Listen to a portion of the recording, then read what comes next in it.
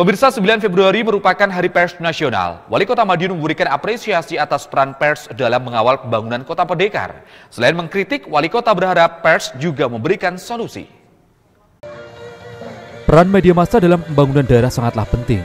Media massa mendorong keterbukaan dan pengawasan terhadap pelaksanaan pembangunan demi meningkatkan kesejahteraan rakyat dan perbaikan pelayanan publik. Di momen Hari Pers Nasional atau HPN tahun 2023 ini, Wali Kota Madiun Maidi memberikan apresiasi atas kerjasama Pemkot Madiun dengan media selama ini. Medi yang tengah berada di kota Madinah mengatakan, Pemkot Madiun tidak alergi dengan kritik dari media.